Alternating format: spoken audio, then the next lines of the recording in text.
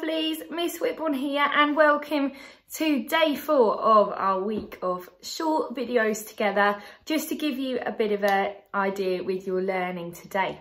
Okay, we're going to go for phonics. We've got our last go round at our three sounds. So hopefully now you're feeling super confident with those and maybe even you're starting to spot them in words, which is the tricky part of it all, isn't it? Once you know them, is spotting them in the middle of words. So let's have a go.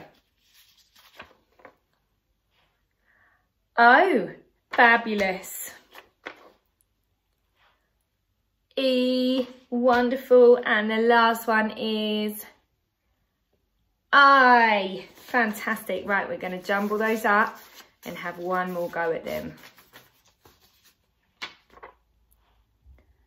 Oh, wonderful. I. Brilliant. And the last one is E. Fantastic.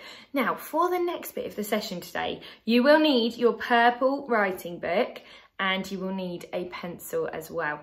And what you're going to do is have a go at writing a sentence. So I'm going to read out a sentence to you. I'm going to read it three times. But if you miss it or if you need more repetitions, there are two options. The first one is to rewind me and have a listen. You can have a listen as many times as you like. And the other option is to have a look on the weekly overview, which is hopefully emailed out to you. But if you haven't had it, it's also on the school website and that has the sentence written down. And then you could find an adult or an older brother or sister to read it to you. Okay, the first time through. Are we listening? Are we ready with our pencil and our writing book? And are we sitting comfortably? Okay, the sentence is, I can see a goat up high on the road. Okay, I'm going to go for it again. I can see a goat up high on the road. Now, just before I read it for the last time, but as I say, rewind it if you need it again. Just a little clue that all three of the digraphs we've been learning this week are in that sentence. So if you can have them in front of you, then that might be really helpful. Okay, the last time I'm going to say it then. I can see a goat up high on the road. So good luck with that. And I would love to see a photo of your sentence if you have one.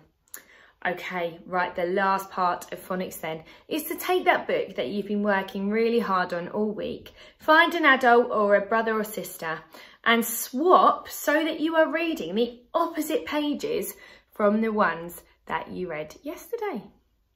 Okay, now on to maths, which is money that we're learning about. And there's another video, which again, I will link down there. And what we would love you to do today is to create a shop.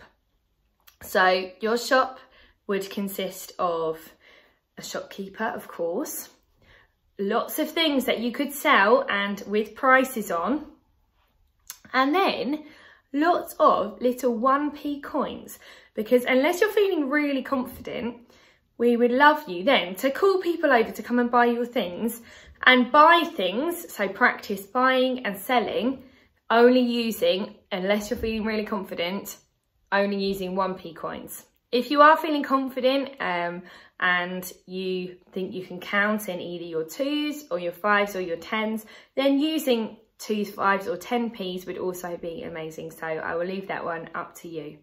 Have an amazing day and I will see you tomorrow for our last video of the week. Bye for now.